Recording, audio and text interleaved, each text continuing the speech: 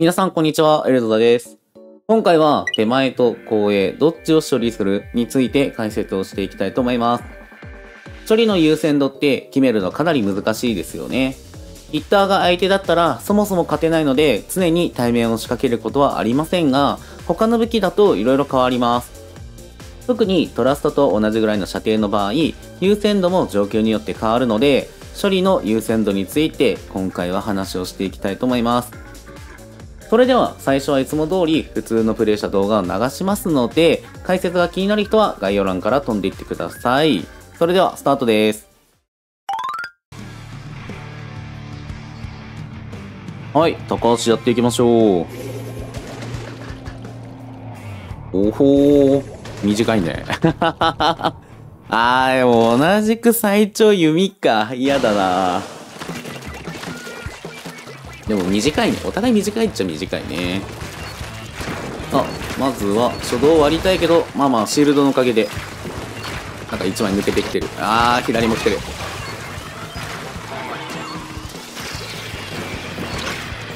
やだなまあメガホンはね、ちょっと冷静にね、ゆっくり動いて。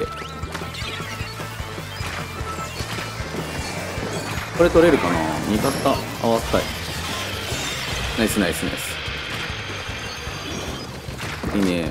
これは、あー、そっち行っちゃう まあまあまあ、持つ人優がね、持つ人が選びますから。まあ、しゃあない。まあでもこれ割って、これ持って、上。わかる。メガホン。メガホンがいい仕事するね。乗せて、さ28。あー、ここ行って、はい。一回吐いて、はい。よしよし。これはなかなかいい動きできた。いいぞ、いいぞ、いけるぞ。何歩まで行く ?1! あと1。あー、1。あー、ごめん、やっちまったわ。でも味方が。やれやれ、やっちまえ。あー、惜しい。ただ、まあまあまあまあまあまあ。まあまあ、一回落ち着いてね。1かちょっとの差だろうなとりあえず邪魔しておいて。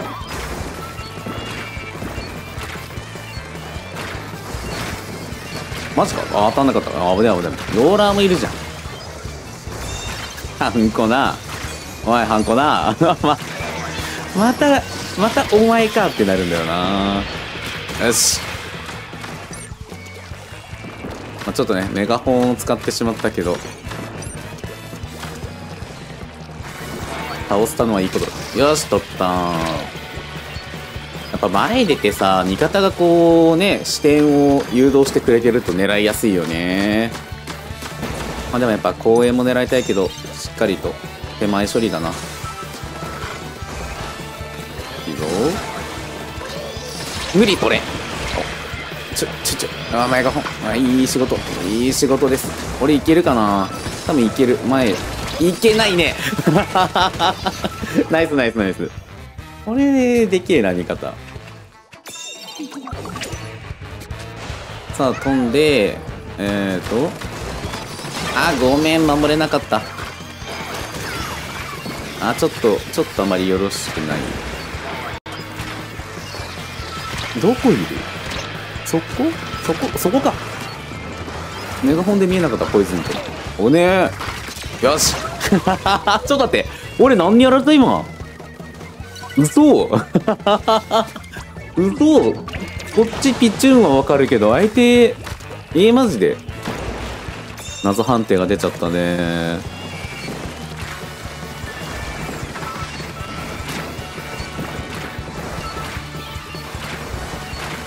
当たんねえな。急に当たんないの難しいな。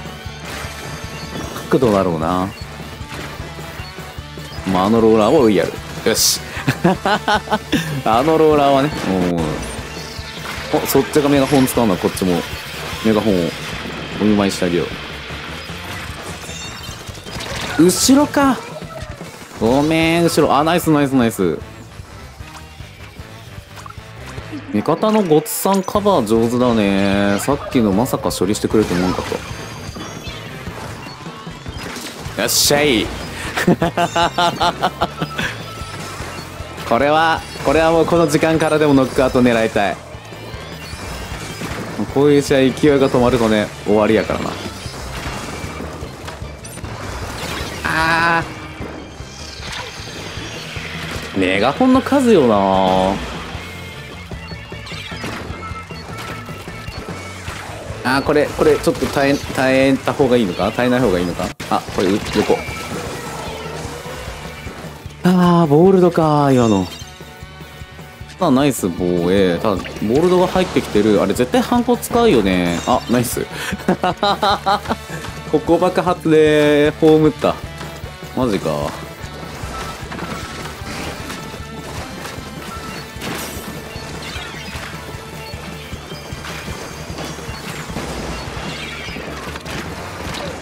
まあまあまあまあここでね焦るとねここは一瞬で終わるんでね。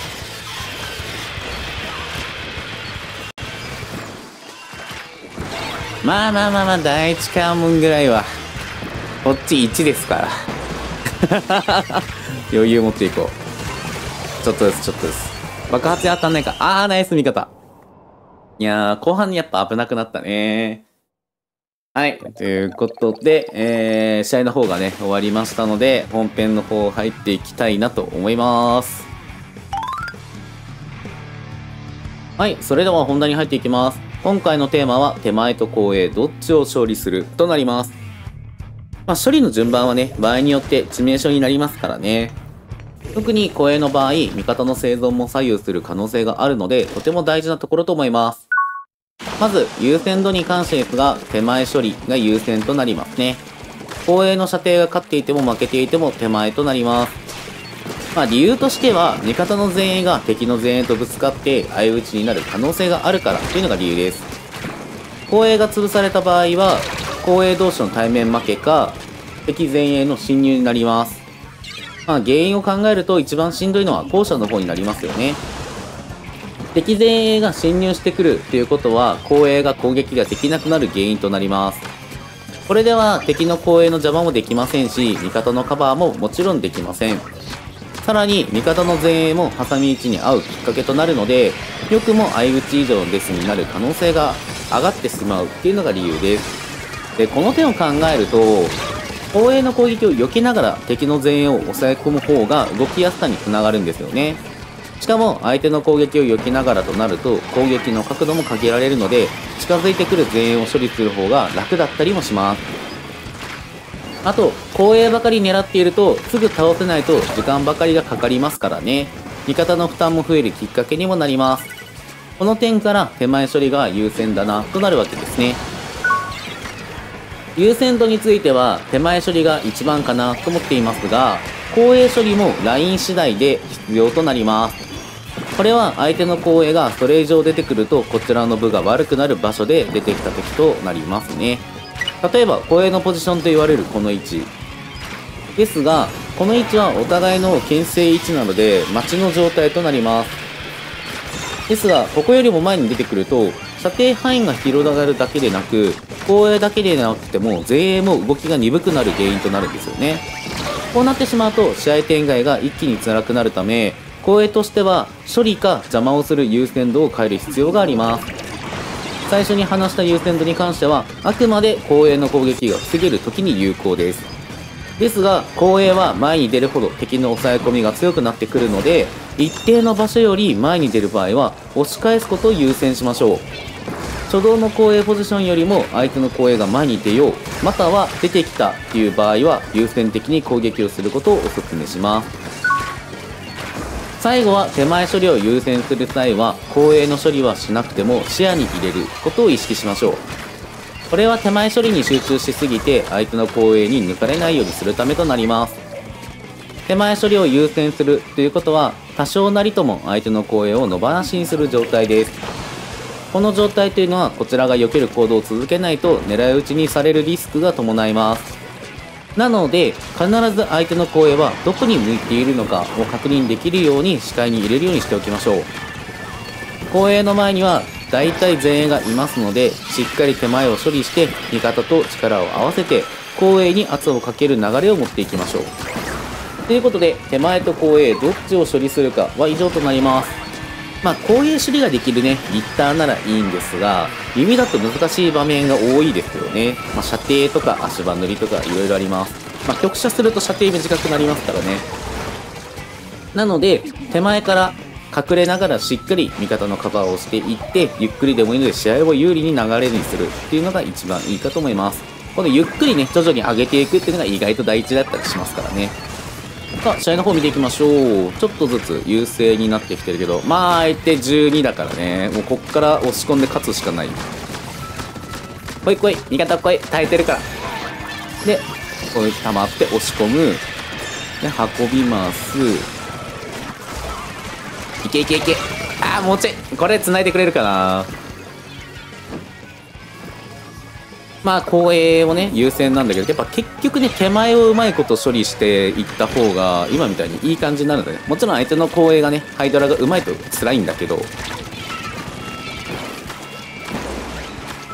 なるべく手前、手前。後衛はね、どうしてもね、近づく限界っていうのがあるからね。まあ、ただ、スピナーは、武器によって自信が、自信の度合いでだいぶ変わるからね、難しいよね。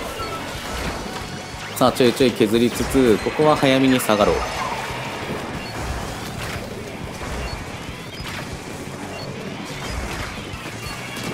近づけないように。こう今みたいにね登りそうなところだったら角をねしっかり。あよし今取れた。ナイスすぎる。お危ね。やめてほしいああいうの。ホラーじゃんもう。で割らずに。よしよしナイスナイス。はい。ということで、えー、今回はここまでとなります。ご視聴ありがとうございました。まだまだスプラン動画やその他のゲームを随時投稿していきますので、応援してくれる方はチャンネル登録と高評価お願いします。それではまた次回お会いしましょう。バイバイ。